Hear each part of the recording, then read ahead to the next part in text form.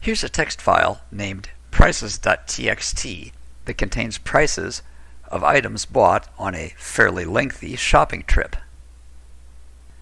We're going to write a program that totals the prices, adds 5% sales tax, and prints the results. Here's the pseudocode. You may want to pause the video and analyze it. To read from a file, you create a scanner object based on a file object. Here's the code for creating a file, as we saw in a preceding video. We'll have a file called price file, and it's a new file, and the path name will be prices.txt.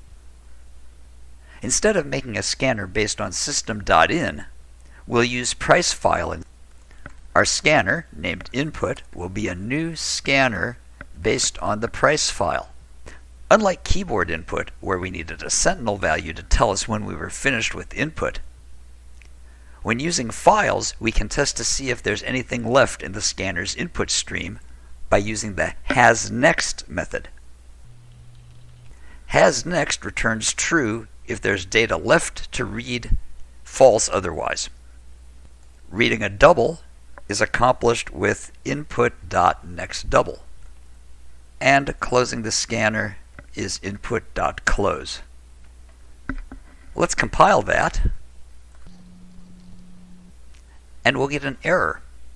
When you create a scanner from a file, it's possible that the file doesn't exist, and that's a checked exception. The compiler is telling us that this is an exception that we must either catch or throw to a calling method. Let's use try catch. We'll put a try block around the main logic of our code and then we'll catch file not found exception. And when we catch it, we'll print out an error message. As long as I'm adding a catch block, I'm going to add another one for an input mismatch exception to handle the case where the file has bad data that can't be converted to double. We'll say that there's bad data in the file and print the exception. Before we can compile again, we have to import those exceptions. We'll import java.util.inputMismatchException and java.io.filenotfoundException. Let's recompile and run it. And it works fine.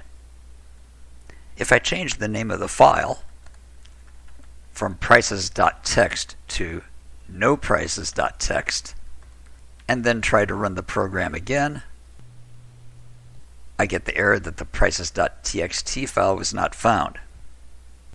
Let me rename that to the correct name. And in here, let's put some bad data, like 2 point, and I'll use the letter O instead of the digit 0.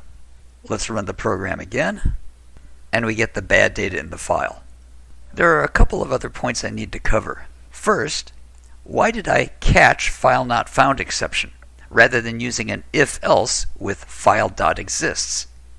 Doesn't that go against what I said in a previous video to use if else in preference to exceptions? The difference here is that file not found exception is a checked exception. I must deal with it.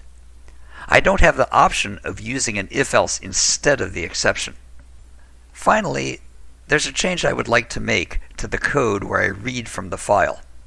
Rather than reading token by token, it's preferable to read line by line.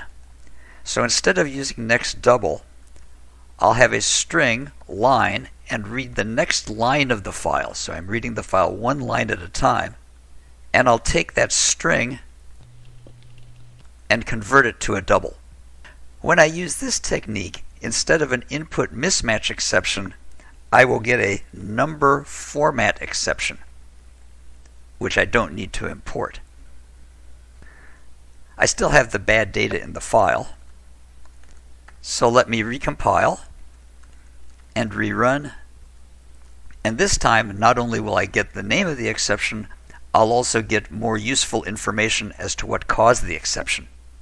Just to make sure that I haven't introduced any further errors, let me go back to the prices.txt file and get rid of the bad data and run the program again. And it still works properly. In summary, what you need to know about reading files from a Java program is to create a file object, make a scanner based on that file object, and then read it one line at a time and process the data on those lines. And remember, when building a scanner with files, you must have a catch for the checked exception, file not found exception.